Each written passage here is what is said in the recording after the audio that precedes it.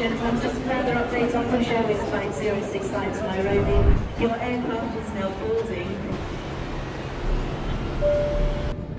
Flight time will be 9 hours and 40 minutes. We'll eventually reach a cruising altitude of 35,000